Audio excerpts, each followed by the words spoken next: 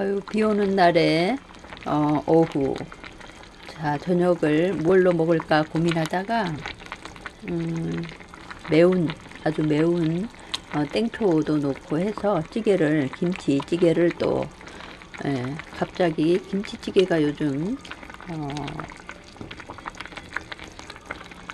먹고 싶은 그런 마음에 어제도 김치찌개, 오늘도 김치찌개를 어, 만듭니다.